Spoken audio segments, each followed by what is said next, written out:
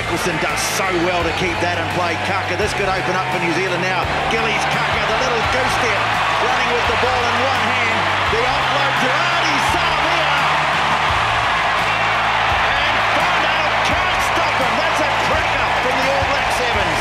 Dixon, Gillies Kaka receives the ball and then the hometown boy, Ardie Savea. Look at that defender in the face. Get out of here, son. This is my pitch. And now here's a bit of space for Rieko Ioane. He's going to go on the outside.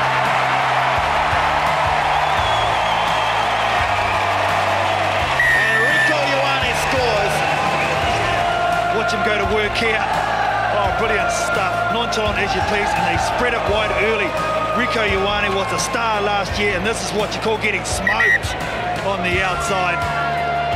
An impressive young kid scores an impressive try. And New Zealand now in full control early in the game.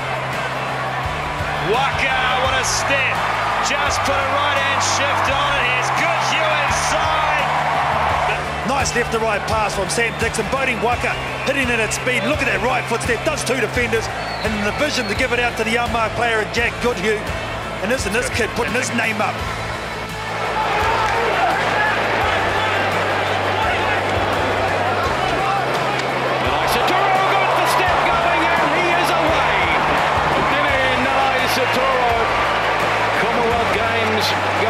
In 2018. Champions New Zealand over Australia. In New Zealand, this is what you call getting waxed, not even touched. Was Nanai Seturo does long bottom, straight up and down. The young kids come to play. It's not back on the New Zealand side. They'll take everything like that in the game as a small victory. You need to put a lot of those small victories together. Here goes Caleb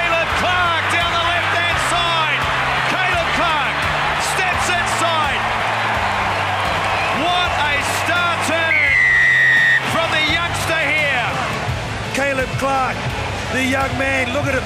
He knows he's a player coming across, but you know, he uses that left foot step. He is so strong. He's a track athlete as well, can do it all. Caleb Clarke, congratulations. Star at the Under 20 World Cup.